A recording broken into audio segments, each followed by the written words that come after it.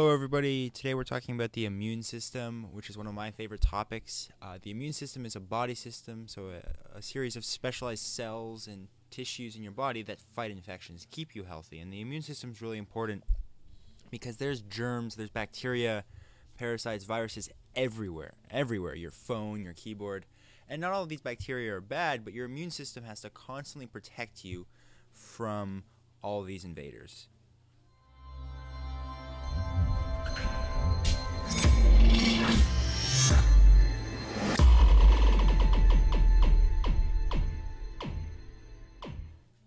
As always, this presentation is not meant to replace a class, just meant to be review, uh, help you with studying for a test or the SAT or something like that. Uh, so let's get started on the immune system.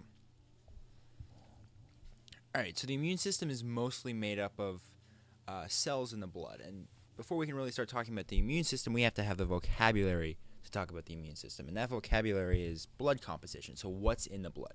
The blood is not just this fluid, it's it's filled with a ton of different stuff, all these different blood cells and proteins. So first of all, we have plasma. It's the liquid portion, and it's mostly water. Your blood is mostly water, just like your body is, but it also has nutrients in it. It has gases, you know, oxygen, carbon dioxide, um, nutrients from what you eat to go to to your body. Because remember, your blood's main job is to bring oxygen and food to every cell in your body.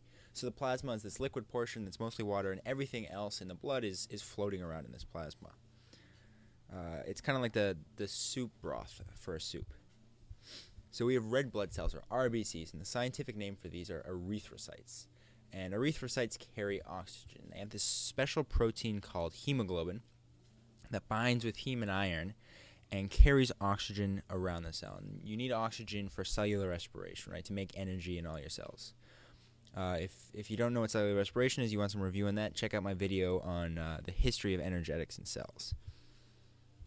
All right, we also have white blood cells, and white blood cells are really the main part of the immune system. They're called leukocytes scientifically, and they're involved in the immune system. So they, there's a ton of different types of these cells, and we'll get into what types of these what types of cells there are. But they do everything from uh, eating invaders, attacking worms, uh, attacking parasites. They're involved in the uh, allergic response. They uh, create antibodies. We'll get into all this stuff. So these these cells. They're like soldiers to the army of the immune system, and they go around and they protect your body, keep it safe, uh, and they're really impressive, really important. There's a huge range of them, um, and collectively they're known as white blood cells.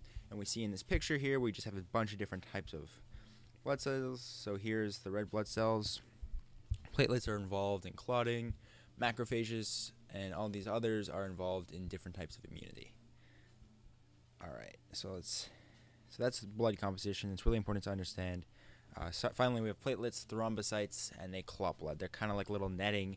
Uh, so if you get a paper cut, you'll bleed for a little bit, but then you'll stop bleeding. How does that happen? Well, platelets and proteins and clotting factors in your blood basically clog up the hole, uh, preventing blood from leaking out while your skin can repair itself. And, and that's really important because it prevents infections from entering and it also prevents you from losing all your blood for something silly like a paper cut.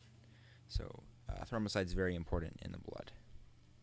All right, so we're talking about the immune system, so we're going to get into leukocytes and other types of immune system bodies, so cells. So we have macrophages, and all of these again are white blood cells. Macrophages are phagocytes. Phagocytosis being the process through which cells eat things. Um, so what happens is these cells, using their cytoskeleton, uh, an organelle in, in the cell, surround bacteria and invaders with pseudopods, little arms. If you've ever seen like an amoeba moving around on a slide, they're using pseudopods to move. So these pseudopods will surround a cell and eat it up. So these macrophages, basically, they see an invader, they see something they don't recognize, they're just going to go eat it. All right, we have interferons. Interferons are these uh, structures in the blood that block viral infections. So remember, Viruses are very different from bacteria. Bacteria are prokaryotes, they're cells. And viruses aren't even really living. They're just protein coats with DNA or RNA, some sort of genetic material, some sort of nucleic acid in the middle. So the immune system attacks viruses and bacteria very differently.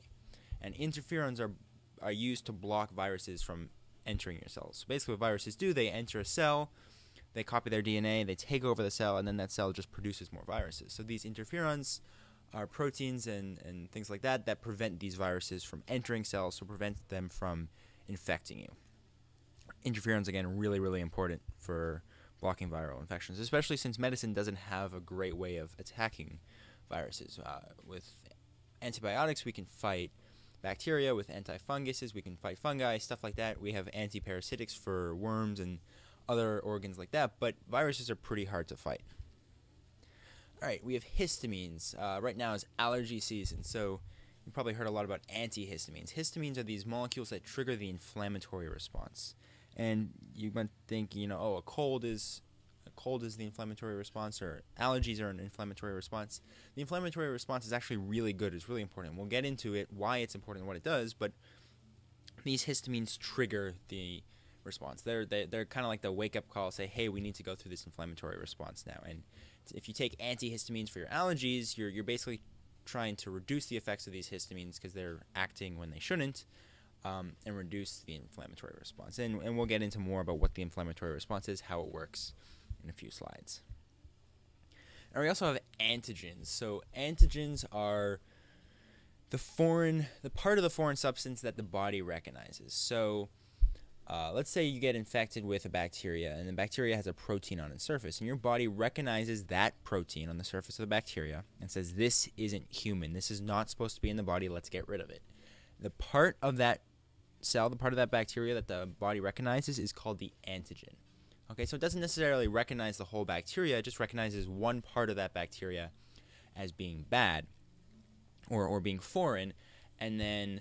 Um, the body will attack that antigen. So, for example, going back to the uh, allergy example, when pollen gets in your system, your immune system uh, falsely thinks it's dangerous and it recognizes the antigen of the pollen, a part of the pollen that it says, uh uh, this isn't good, um, and starts attacking the pollen, which in turn you feel as, as allergies. So, antigens, to the foreign substance, it's like an ID tag that the body says, this isn't right we should be attacking this. This is not normal. All right, and then finally, the antibodies are the proteins produced in response to antigens. So, um, when we get you know that bacteria, we recognize it. The body's going to start producing antibodies, which are these little proteins that will bind to very specific antigens and identify it as foreign, identify it as you know we need to kill this for- foreigner, we need to kill this invader. Um, and and the antibodies are the proteins that do that. And you have a ton of antibodies, a ton of different types of antibodies in your body, and we'll talk about how that you know specifically relates to immunity too.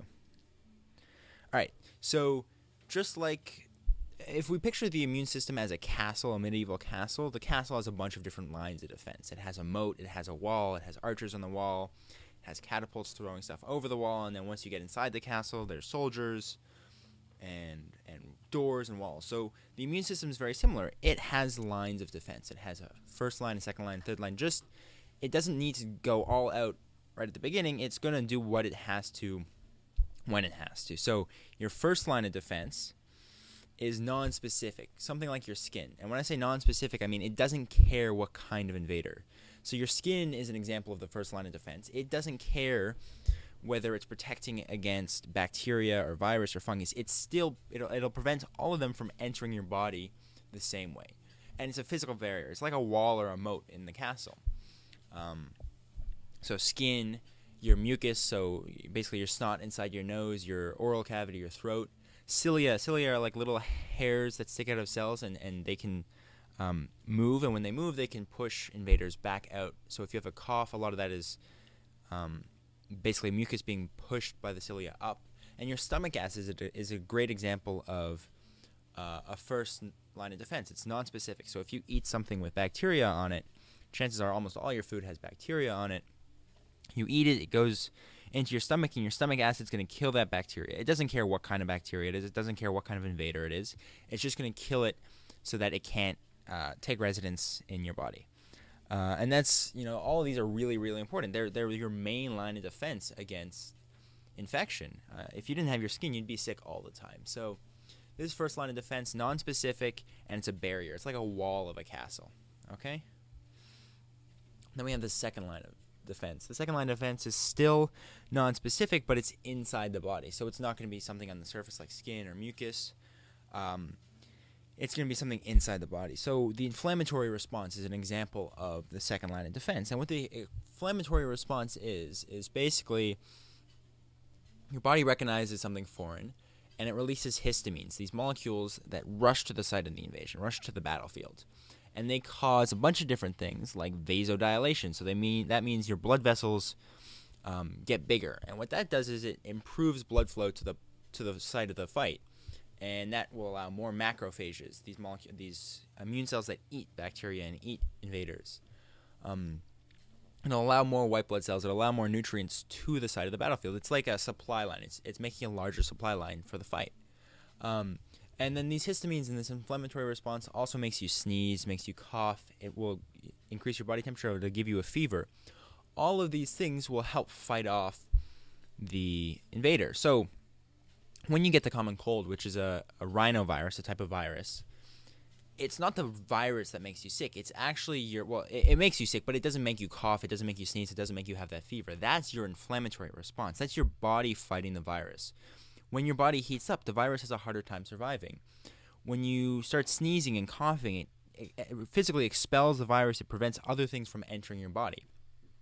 Um, if you get a if you get a cut on your finger and it gets a little infected, you'll see it gets red and swollen and hot. That, again, is your inflammatory response. So, yeah, the inflammatory response isn't so much fun when it's uh, an allergic reaction, but it's really important for fighting invaders. And again, it's non-specific, meaning it doesn't care. it doesn't matter if I get a bacterial infection in the cut of my finger, or I take in some rhinovirus, the common cold, right? My body's going to fight it the same way with this secondary line of defense. So this is kind of like archers or something. They're just gonna, they're just going to shoot at random, hopefully hit somebody and stop somebody from getting stop the invader from getting into the castle. Okay, non-specific inside the body inflammatory response is an example. Uh, phagocytes are another example, right? These white blood cells that just go around and eat stuff. Um, you know, they're like these huge cells. They just go around, and engulf as much as they can, eat all these invaders. Um, and again, they don't care what kind of invader. They're just going to go and eat it. Um, and then interferons are also a secondary line of defense. They don't care what kind of virus, they're just going to stop viruses from entering cells.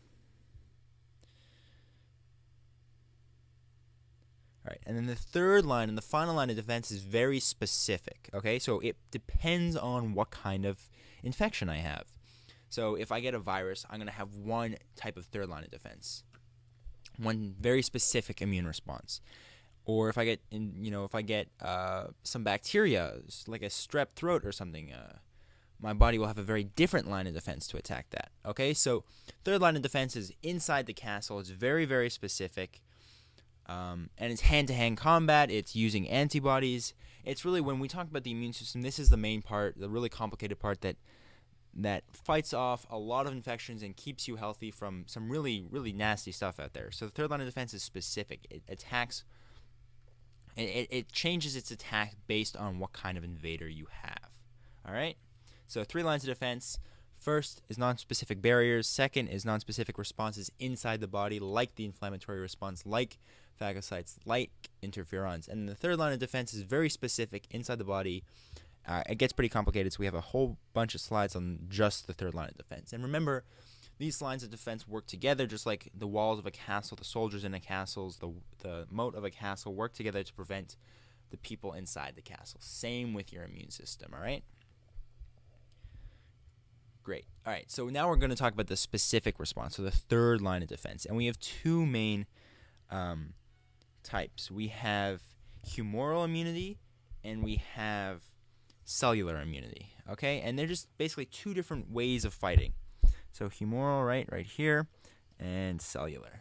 Okay, so let's say I get sick with a non-specific bacteria, uh, just bacteria A, let's call it. Okay, bacteria A gets by my skin, gets by my stomach acid somehow. Okay, and then it gets by the immune, res- the secondary response. It gets by the phagocytes, it gets by the um, uh, the inflammatory response, it, it, it, managed to get through somehow. It's really sneaky. It's really good at fighting. It avoids all the defenses in the non-specific response.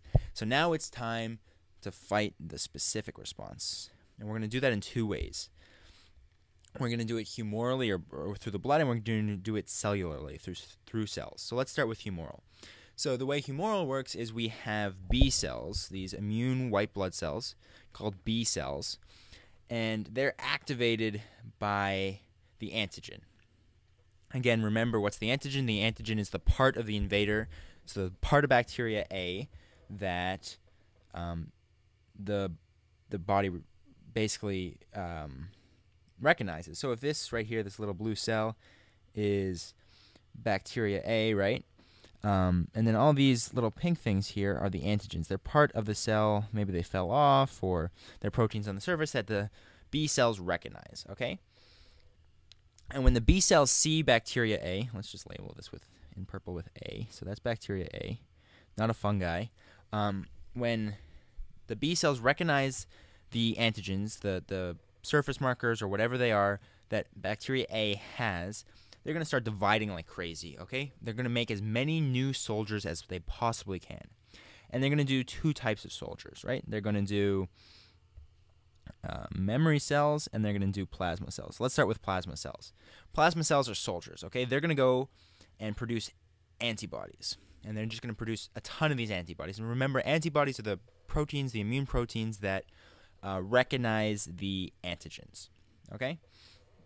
So they're basically the, these plasma cells are basically shooting these antibodies at the invaders, and what these antibodies do is they attach the invaders right here, right? They attach, and that'll do a bunch of things to kill the cell, the the invaders. So bacteria A, it can surround bacteria A, so that it can't invade any cells.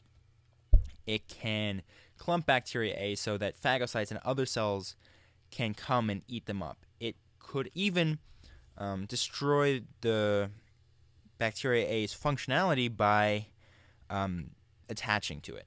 Okay? And the reason this is a specific response is that if I now have bacteria B come along and infect me, there are going to be different B cells and different antibodies to fight bacteria B, or to fight virus B, or to fight, you know, uh, worm B or worm A. Okay, so every uh, specific invader has a different antibody, a different B cell that attacks it. So there's B cells for the flu, there's B cells for the common cold, there's B cells for whatever infections you've ever had, the measles or, or something like that, okay? So this is specific because antibodies only attach to one antigen, okay? Um, and we also said earlier that we make memory cells, and what memory cells do is they divide and they kind of just float around the blood, they float around the body, so that next time I get attacked by bacteria A, these memory cells will very quickly recognize it. They'll go and produce plasma cells and will fight off the infection a lot faster. Okay, so the reason you can't get chickenpox twice or something like that is because you have memory cells. Your body remembers the infection and it doesn't take a long time to start fighting it.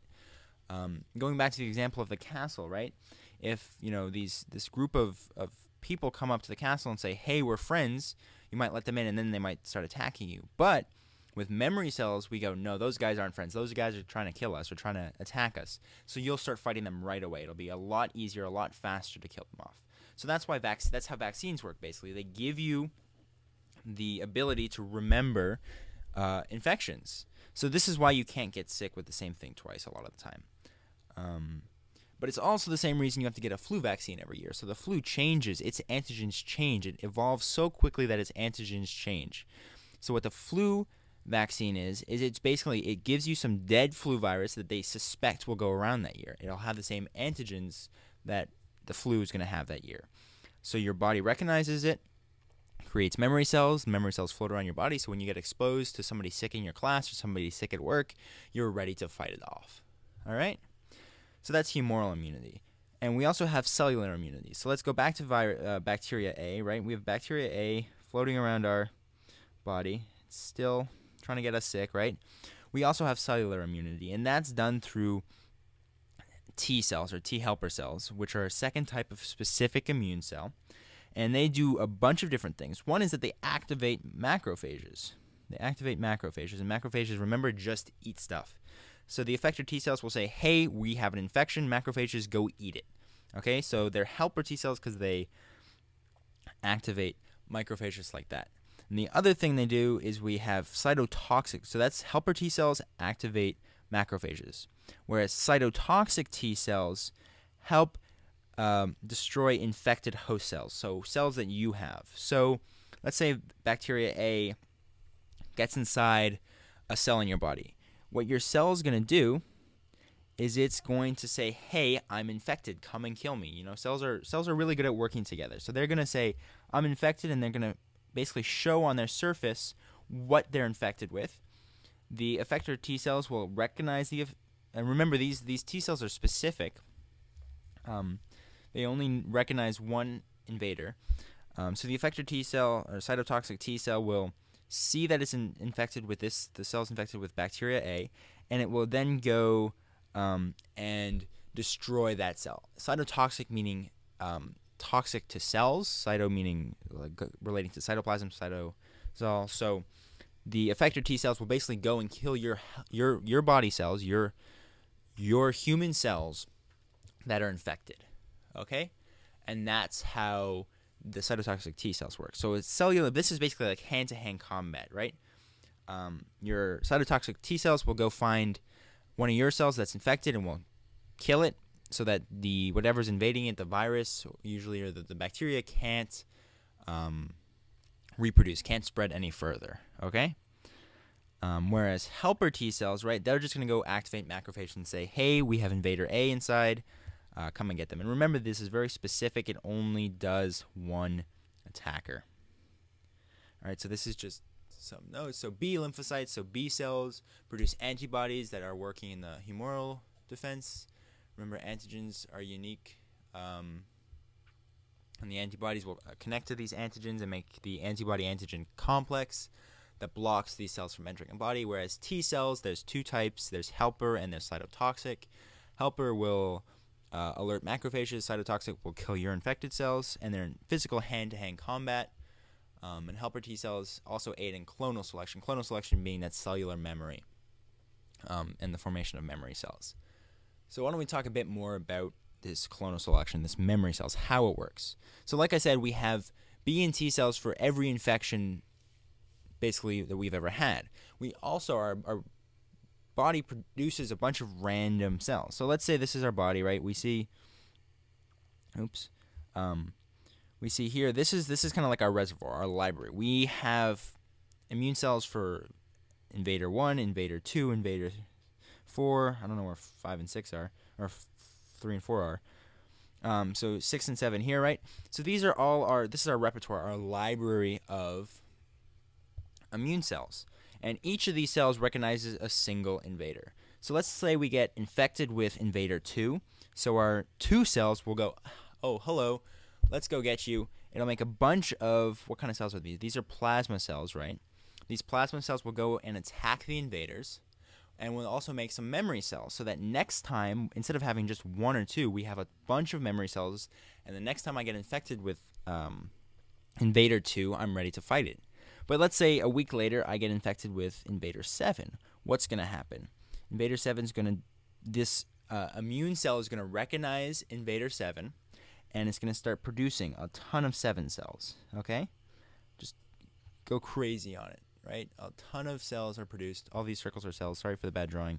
Um, and a few will go and fight the infection, right? And then they'll die, but they'll also kill the infection. You know, keep you healthy. And then we'll have a few that go and make memory cells. And these memory cells will float around the body so that next time you're infected with Invader 7, you're much more uh, able to fight it and you can fight it a lot faster. So this is if you, you know, you've had chickenpox once, you can't get it again because you have memory cells. Your body isn't scrambling to find the invader and to kill it. You have all these memory cells, you're ready to fight it. You're you know what's coming and you know how to fight it. Okay? So plasma cells are cells that actually fight, do all the fighting whereas memory cells um, are cells that are kept in the library. They they're basically float around your body ready to notify the body of the next infection. And like these, this basically there's a library of these cells of all the infections you've ever had, um, and that's called immunological memory. So your immune system can actually remember. It remembers what you've been in, affected with, and it remembers how to fight it. All right. So I think this is one of the coolest parts of the immune system. It's really, really smart. It's ready and it's always changing. It's always making you better able to survive. All right, so there's a bunch of different types of immunities. Um, so we're just going to kind of run through those, talk about how they all work. So, first of all, there's passive immunity, which is temporary, and basically it just means you've been given the antibodies. They're borrowed, not produced. So, newborn babies have passive immunity. Um, the mother will give babies um, immunity through the placenta, through the womb. And when the baby's born, it'll be ready to fight infections because it has the antibodies. But eventually, those antibodies are going to get old, go away, and the baby will no longer be able to fight the infections. It has to, you know, fight it for the first time itself. So passive immunity, it's it's giving antibodies. It's short term and mostly through maternal immunity. Okay. Then we have active immunity, which is basically what we've been talking about the whole time. It's permanent. It's the production of antibodies. We have memory cells. You've been infected with it, with it before, you're ready to fight it. All right. Vaccines. You hear a whole ton of stuff about vaccines on the news and you know whenever you go to the doctor. So the way vaccines work is they prevent viruses and, and stuff by artificially creating active immunity. And they're prevention, not treatment. So what does that mean? What that means is basically they give you a bunch of dead virus. Your body goes, it doesn't know that the virus is dead. And your body goes, oh, look, there's an invader and it starts attacking the invader. And what do you get? You get memory cells. And because you have those memory cells, you're ready the next time you're exposed to it. And because the virus is dead, it doesn't make you physically sick. It's not going to attack your own cells. So there's not going to be a big fight. It's just like, uh, it's basically like showing a wanted picture, right? The vaccine goes into your blood and says, hey, look, this virus, this bacteria is wanted. So your body goes, okay, makes a whole bunch of cells that are re- ready to find the wanted person. And when that, you know, wanted virus, that wanted bacteria shows up, you're ready to fight it. It's not treatment though. So if I give you a vaccine once you've already been sick, it's not going to help you. Your body already knows the invader's there. It's just trying to fight it. Vaccines don't help you fight it. They just help you recognize and remember um, what what viruses, what infections you've had and, and there's a lot about you know vaccines causing autism or diseases like that. There's no evidence, no evidence at all to show that. Um, if you want to see a really great video about how vaccines do not cause autism and stuff, go over to my wait uh, my um, YouTube page and check out um, one of the suggested uh, sites I have called Healthcare Triage. They've got a great video on immunity and vaccines. Okay. We also have allergies. We've talked about this a bunch at the beginning of the vin- uh, video. It's basically a hypersensitive immune response to something that's not harmful. So, you know, pollen gets into your body or peanuts get into your body. Your immune system has this massive inflammatory response for no point. It's confused. And these can be really dangerous. People don't really know, or doctors don't really understand why people are allergic, um, but they do know it's an immune response to something that's not harmful and it's over the top immune response. All right, antibiotics. Antibiotics kill bacteria, and we have antifungals that kill funguses. They're this time they're treatment, not prevention. So you know, you take antibiotics before an infection, it's not going to help you. You have to take it during the infection. The other thing that people don't always understand is that antibiotics don't help kill anything but bacteria. So if you go to the doctor and you have the common cold, which is a virus, and the doctor prescribes you antibiotics, not going to help at all. All right? The viruses won't be affected by the chemicals in the antibiotics. Antibiotics help kill bacteria, help fight bacteria, and they're only used for uh, treatment, not prevention. And then finally, we talk, you hear maybe a lot about this, two autoimmune diseases. Um, a lot of them are very rare, and basically, what it is, it's your immune system confusing what's an invader and what's not. So, um, multiple sclerosis, what happens is your immune cells think that the sheet around your neurons, your nervous system, is an invader and it starts attacking your own nervous system. And basically, over time, it breaks your nervous system down. So, autoimmune diseases are not well understood, but what they are is they're, they're your body attacking itself, your body thinking you're a foreigner and starts attacking you. And they can be lifelong and they can be really dangerous um, and, and can lead to death. But again, really rare um, and not not that common. The last thing, we talk about HIV and AIDS a lot. HIV is a virus, human immunodeficiency virus, right? It's protein coat with RNA inside, and what it does is it attacks your helper T cells. And when it attacks your helper T cells, that basically lowers your immunity, and it can cause AIDS. AIDS is an autoimmune disease caused by the virus HIV. AIDS is human uh, is um, an autoimmune disease, right? So it's acquired immunodeficiency syndrome, AIDS, okay, which is caused by the virus HIV. So you can have HIV and not have AIDS. Um, and the other thing to kind of understand about HIV and AIDS is that most of the time HIV won't actually kill you. What will kill you is a secondary infection. Because your immune system is so weakened by the virus and by AIDS, uh, something that normally your immune system would be able to fight off very easily can kill you. Okay, so um, that's just uh, understanding that HIV and AIDS are different things. HIV is a virus, AIDS is a disease caused by the virus, um, and HIV inf- uh, infects and attacks helper T cells. Kind of a bold move for a virus to do. All right, so that is the immune system. Again, I think it's one of the coolest systems in the body. Really, really interesting about how it fights infections, how it fights disease. Um, really complicated. It's you know scientists spend their lifetime studying it, still don't understand it. Um, so if you have any questions, let me know in the comments below. I'll do my best to answer them. Um, thank you for watching. Don't forget to rate and subscribe. And as always, keep questioning.